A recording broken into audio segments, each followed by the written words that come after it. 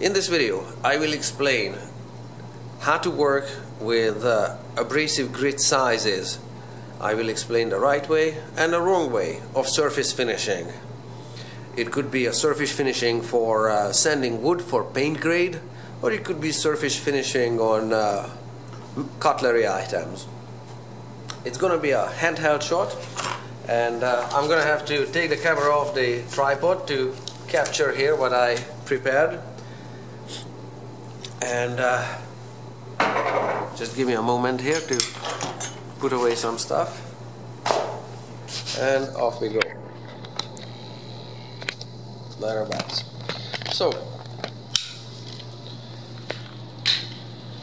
what I have here on the table is a bunch of sandpapers two knives file metal samples a paper tape measure and uh, rocks in trays in uh, another title, uh, Abrasive Grit Sizes, I explained how the coated abrasives in sandpaper uh, and their abrasive grit sizes work together. Basically, the uh, these numbers on a sandpaper refer to the uh, number of uh, openings in a certain area in a sieve where the crushed rock is being sieved and sorted at a coated abrasive manufacturer uh, and uh, you can see some of the samples here. And as we go from 40 grit to 220 to 600 grit uh, all the way to 2000 grit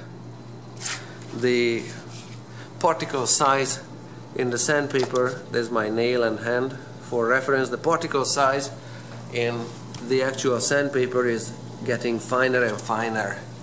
And this one is the coarsest here the coarsest sandpaper where the particle sizes are clearly visible. And if I put a tape measure next to it for reference you can have a you can have a pretty intelligent guess here that about the size of these partic uh, these particles here.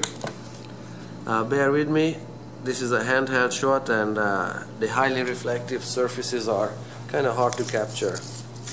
So the right way and the wrong way to sand uh, could be illustrated with these two rows of rocks here.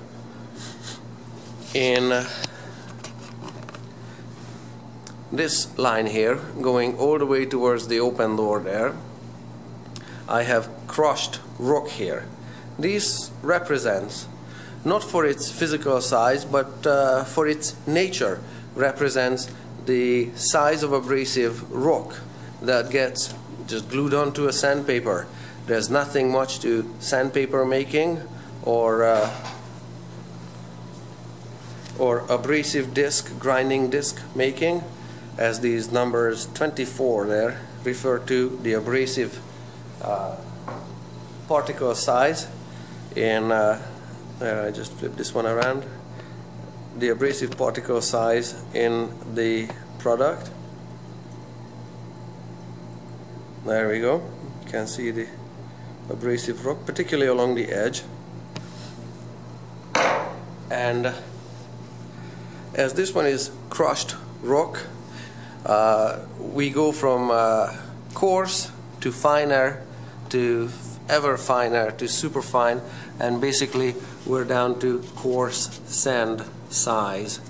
Uh, now this coarse sand size doesn't really correspond to a 2000 grit sandpaper but uh, but uh, this is uh, to give you an illustration how the particle size goes down and the uh, and the number on the abrasive uh, product goes up from 40 80, 100, 220, 600, down to 2000 at the end.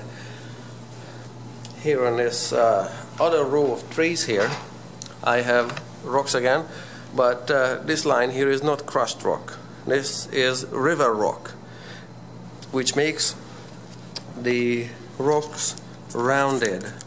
You can see that here the rocks have jagged edges and are sharp and I uh, nearly cut my finger while I was sorting some of these rocks. All of rocks, all of these are sharp, and all of these are round.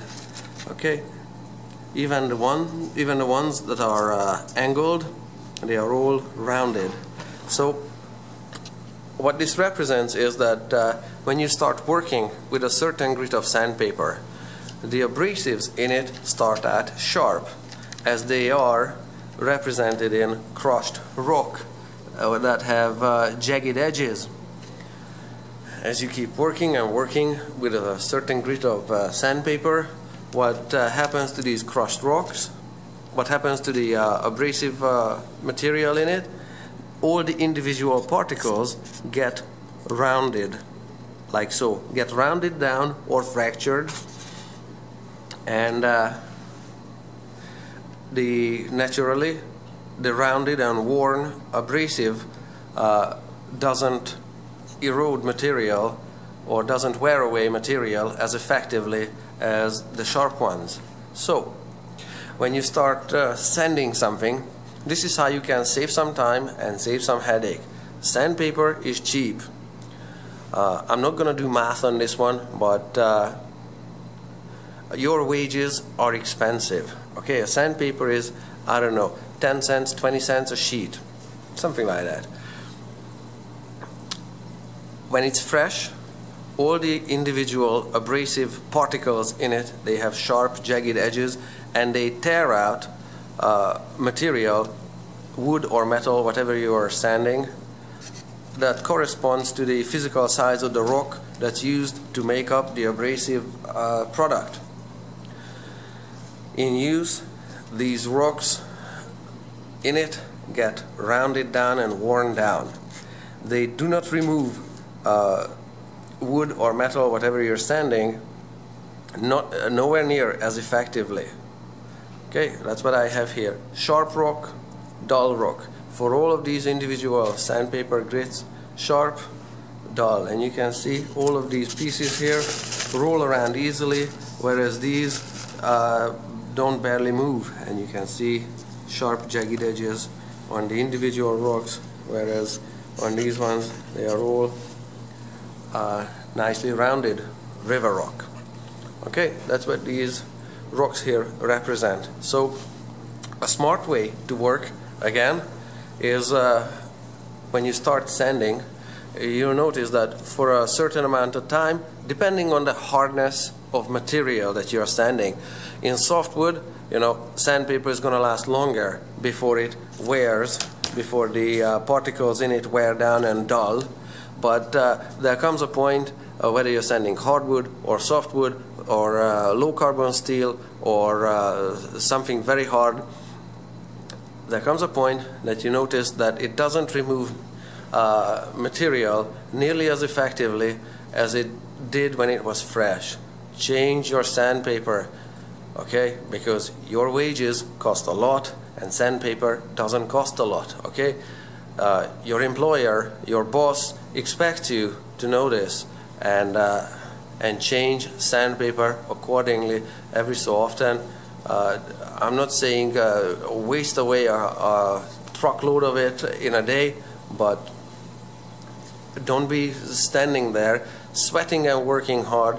We're using the same sandpaper piece for two and a half hours because that's not going to fly well, okay? That's basically the idea here. That's how to use sandpapers smartly. Another aspect of the same thing is that if you want to produce a highly polished uh, either wood surface or metal surface, whether you're going for a paint grade on wood or you're going for a mirror polish on a, on a metal item, don't start with the grade of sandpaper that produces the final finished surface okay? You're gonna have to start at the coarsest that's around in the shop because the coarsest sandpaper will uh, rip out and remove uh, particles that correspond to the uh, rock that's in it. And then you're going to have to move to a smaller pieces and uh, in order to achieve a nice and even surface all over. A smaller rock size and an even smaller one. I'm going to flip this one around there. So you're going to have to gradually move to to finer and finer sandpapers. If you are making paint grade wood, uh, maybe uh, maybe not 40 grit, but uh, 60 grit, uh, 80 grit, 100 grit, and it's good to go. Uh, 120 is uh, maybe not that. maybe that's pushing it for paint grade. Okay, and for metal, you can see I have two metal items. This one is duller and is also rusty. But uh, where it's not rusty is also duller overall. And uh, that partially explains why this one rusts easier. The higher the surface polish in a metal item, uh, it means that the size of grooves in, the, in its surface are smaller and smaller because the size of grooves in a surface are caused by these abrasives which are carefully graded and uh, sorted to make the sandpaper and uh, if you want to produce a fine surface finish you're gonna have to go with a fine sandpaper. But again uh, start at the far end of the room at a coarse grade and uh, and gradually work your way up there okay? Don't be wasting hours trying to get something done with 600 grit sandpaper because uh, they will remove material so slowly and so minutely that uh, you're not going to be able to sand out all the dimples and all the surface imperfections with the 600 grit sandpaper uh, anytime soon and that's just gonna uh, cost a lot of money for your uh, for your boss or for yourself so that's basically how to work smart with uh, sandpapers. Consider the uh, consider the grit size, the finished grade, and don't start with your finished grade. Start with uh, a coarse grade and work your way gradually down. And keep in mind uh, how much material is being removed as you work along. And uh, when your sandpaper is worn, just change it.